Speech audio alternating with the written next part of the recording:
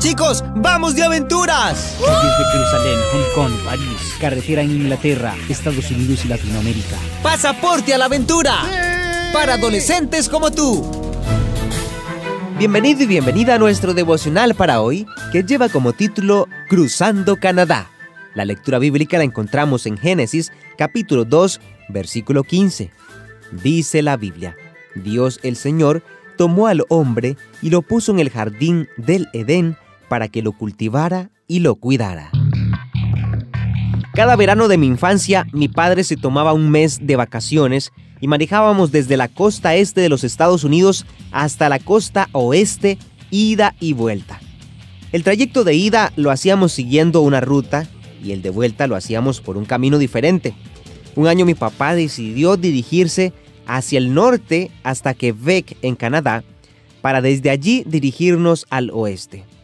Nos encaminamos a Montreal y desde allí hacia el oeste por la carretera transcanadiense que conecta las costas Atlántica y Pacífica.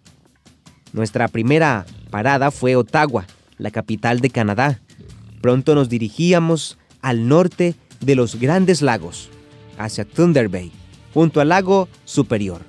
Continuamos hacia el oeste, salimos de Ontario y entramos a Manitoba y las planicies centrales, a Winnipeg. Las planicies continuaron a través de Saskatchewan y finalmente en Alberta hacia Calgary. Cada vez que entrábamos en una nueva provincia, parábamos para tomar una foto del cartel que nos daba la bienvenida a esa provincia y en Calgary pudimos ver las montañas rocosas a lo lejos. Al poco tiempo estábamos completamente rodeados por una magnífica cordillera en cada dirección a la que volteábamos. Para entonces, la autopista por la que habíamos viajado cientos de kilómetros se había convertido en una carretera de dos carriles, serpenteando por las montañas. Pronto dejamos atrás las montañas rocosas y llegamos a la Columbia Británica, cerca del final de la carretera transcanadiense. Delante de nosotros, la última ciudad antes de volver a entrar en los Estados Unidos era Vancouver. Nuestro viaje nos llevó por casi 5.000 kilómetros, atravesando el país, y en el camino asimilamos la belleza y majestuosidad del paisaje que nos rodea. Canadá es un país espectacular. Vivas donde vivas, estás rodeado de naturaleza. Desde el comienzo, Dios nos puso a cargo de la naturaleza nos ha pedido que la trabajemos y la protejamos. Hagamos nuestra parte para proteger el planeta que Dios nos ha pedido que administremos.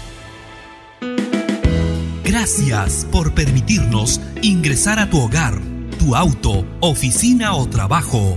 Volveremos pronto para seguir conociendo más bendiciones para tu vida. Esta fue una presentación de Canaan Seven Day Adventist Church y DR Ministries. Hasta la próxima.